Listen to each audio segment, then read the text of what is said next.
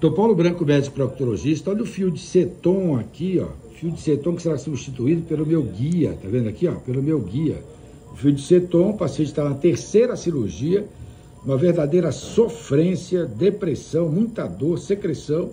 E agora vamos retirar o fio de ceton com a fístula. Para isso vai ser usado o meu guia e o laser. Olha o laser de CO2, tá vendo? Já na corrente contínua, a densidade adequada, a fístula será detectada com este guia e retirada com laser de gás carbônico.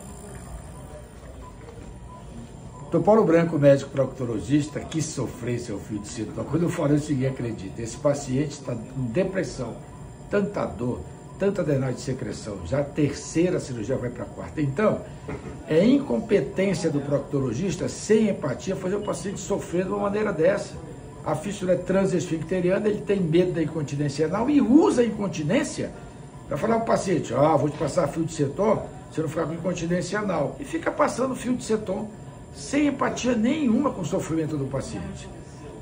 Vou substituir fio de ceton pelo meu guia e retirar com laser de gás carbônico. Tá bom? Entra no meu canal de vídeos, arroba proctologista Dr. Paulo Branco, um canal só LGBT, arroba proctologista para o gay, o site, muitas fotos como essa aqui de ceton, www.paulobranco.com.br. Um abraço.